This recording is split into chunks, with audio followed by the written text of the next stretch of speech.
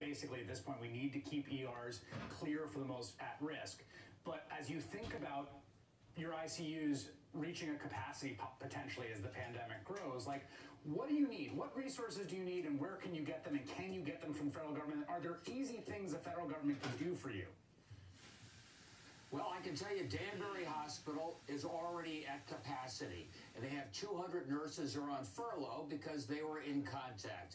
If I could test those nurses, I could potentially get them back into the game Wait a a lot second. sooner. You've got you've got 200 nurses sitting on the sidelines right now who can't get back to work because they can't be tested to confirm whether or not they have the virus.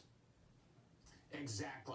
We got a surge in use, demand is going up, and I'm losing nurses by the day who have to furlough themselves for a period of time. That's a priority for testing for me.